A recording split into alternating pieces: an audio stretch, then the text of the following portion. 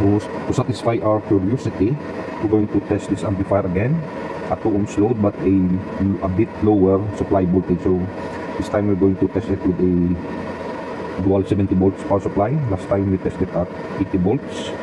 I'm just going to show that the power supply has been set to 70 volts.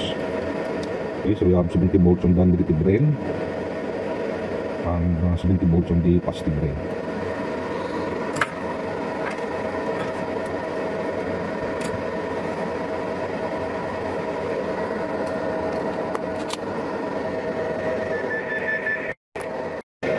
Okay, so we're going to measure the power output of the amplifier straight at 1% HD. Okay, currently, currently that is the output 50 volts to peak.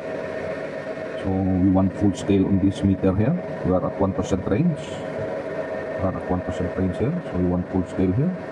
Up to 1. We need to be needle at 1%.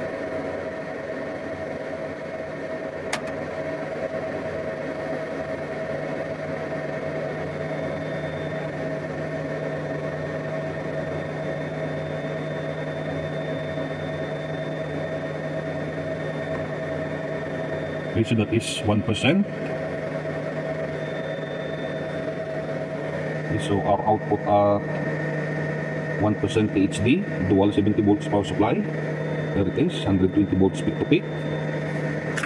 So we're going to measure the RMS output power of the, the amp at 120 volts peak to peak. So 120 divide 2.828 under squared divide 2 Okay, so the amp can actually do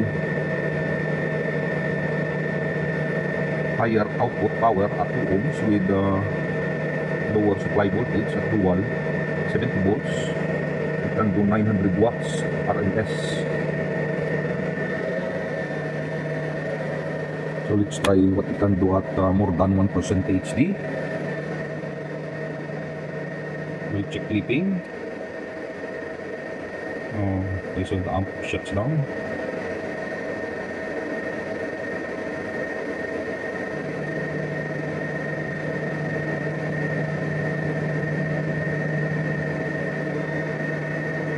Let's see when the amp shuts down.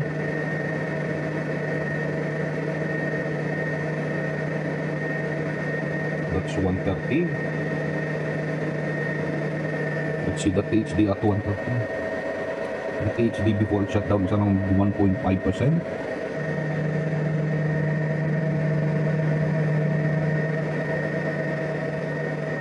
So the amp shuts down, um, power up again. So it's not stable at uh, 130 volts peak to peak output. Maybe at uh,